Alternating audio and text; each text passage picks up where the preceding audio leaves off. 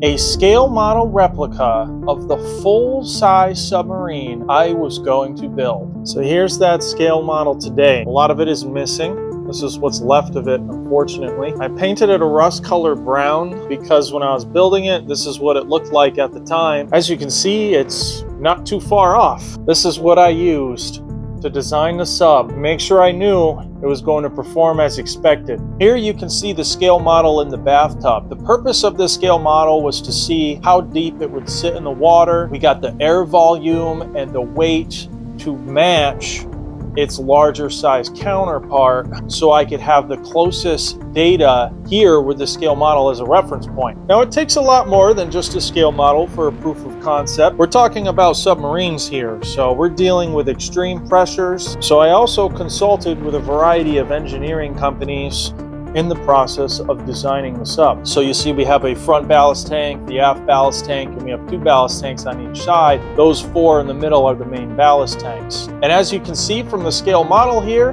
the real submarine sits pretty close to what that scale model did in the water. The scale model also allowed me to figure out how it was going to stay trimmed on the water and below the water. Because as the submarine goes under the surface, its dynamics are going to change as far as its trim. You have two big air pockets right here. Right now, say this is the water, it's sitting above the water. As it goes underneath the water, we now have two big air pockets back here as you can see, these two towers aren't in the middle of the sub, so this side's going to want to rise. So those are some of the engineering challenges involved when you're designing a submarine. Its stability on the surface versus its stability underwater. Here is a picture of me in the first couple months building the submarine. You can see I got the two conning towers on the main hull. What you see on the side there are the ballast tanks. Those are 100 gallon propane tanks. Now I was able to use 100 pound propane tanks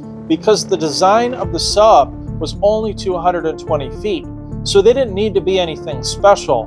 We're not building a deep ocean diving vessel, but if you are looking for a one-way trip to the Titanic, subscribe and I'll pick a winner. Just kidding. Now, after I had the pressure hull put together and the conning towers installed, I had to build the frame. So the purpose of the frame on the sub, and you're gonna notice that this submarine is much larger than your, than your typical personal submarine. When I set out to design my own sub, I wanted it to look different. You can buy plans for personal submarines like the K250 or the K350. They're cool and more capable, but I was going for a recreational submarine. I wasn't going for a search and recovery submarine or submersible. So in this picture, I'm in the process of installing the frame, well, building the frame on the submarine's hull. So you have the conning towers on there.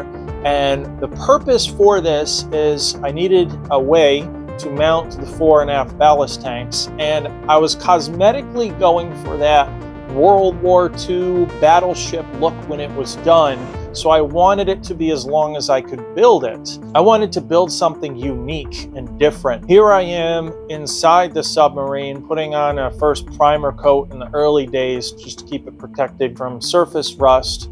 And uh, yeah, it, it looks pretty small in there, but it's actually not that bad. Here's the inside of the submarine when I was first mounting the control panels. This was a really exciting point during the design. I'd find myself sitting inside of it, spending countless hours inside just imagining what it's going to look like when it's completed. The inside of the submarine after I painted you can see a lot of the control panels are completed here. Absolutely beautiful. You can see the two batteries up in the front of the hull there. It runs off of three batteries and three 55 pound thrust motors. So the design of the panels inside the submarine that I was going for, you can see how that red power switch, there's a plate behind it with the four little screws on the side. That inspiration was taken from the panels on the Boeing 737 here it is getting its first coat of paint. It looked so cool seeing underneath all the side skirts, the sheet metal. But trust me, when I got the side skirts on and everything was painted, said and done, it had the true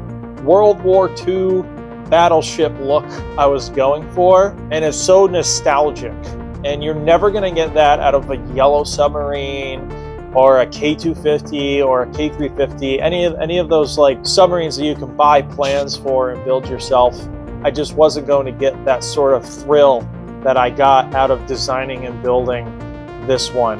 Now after it was painted, I had to put these huge steel beams on the bottom of the sub. So I had to pick it up with a crane, back its trailer in there, which had the two I-beams on it, and lower it down and weld those beams onto the hull of the sub. These beams is what keeps the sub upright and makes it heavy enough to submerge. So what we did is we got a crane scale, we picked it up, we figured out how heavy it was, we knew what the displacement was, and we had to math out the difference to see how much extra weight we're going to have to add in order for this thing to submerge under the water. If you enjoy these videos, ask questions in the comments and like and subscribe. I get a lot of questions on the legalities of building your own submarine and uh, I'm going to share a little bit of that information with you. In order to build your own submarine that you want to put on public water, you are going to have to be a registered manufacturer with the U.S. Coast Guard, which I am.